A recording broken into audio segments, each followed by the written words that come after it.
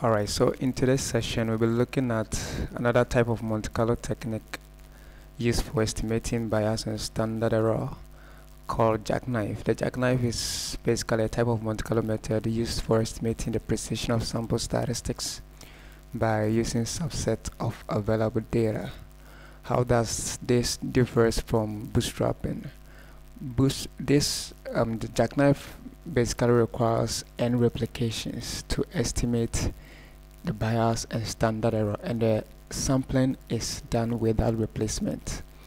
However, with the bootstrapping, it requires several hundred replicate to estimate the bias and the standard error and also the sampling is done with replacement. So this is how jackknife differs from the bootstrapping that we have just looked from our previous session, right?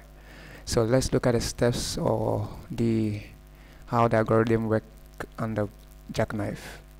So we let x be an observed random sample and define the ith jackknife sample to be the subset of x that leaves out the ith observation. This is basically going to define the leave one out sample which I'm going to demonstrate with some data set so that you can get a clear picture of how jackknife works. Then the next step is to compute the ith jackknife replicates for i's running from 1 to n then we can also look at the uh, compute the mean of the jackknife estimates from the leave one out sample right? So let's demonstrate this with some example. Assuming we have this data set and want to look at the correlation be between height and age for 10 observations um, we had from the observed sample the estimate is given to be minus 0.2860 um, how does jackknife works with this data set? First of all we pick the for the first replication or for the first experiment is going to leave the first observation out and it's going to compute the correlation or the estimate for the remaining observation that gives us this.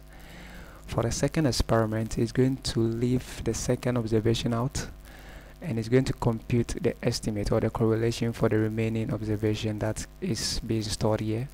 So it does it for the third um, replicate which is going to leave the third observation out and it's going to compute the estimate or the correlation for um, for for the remaining observation. This basically defines the leave one out sample. So it does it up to the n replication. Here we, are, we have 10 that's why it ends at 10 so it's going to leave the 10th observations out and it's going to compute the correlation for the remaining what observation and that's being stored here. Once it is done um, we can look at the mean right?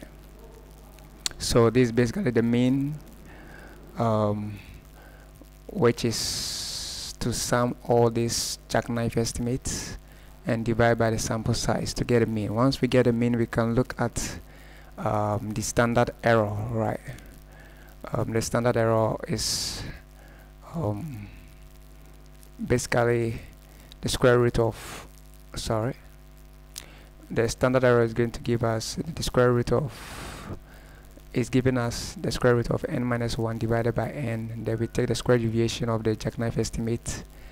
With minus the mean of the jackknife estimate from the leave one out sample to get the um, standard error for the jackknife estimate right? So this is basically the um, formula for the how to compute the jackknife estimate or standard error then the next step is to look at the bias.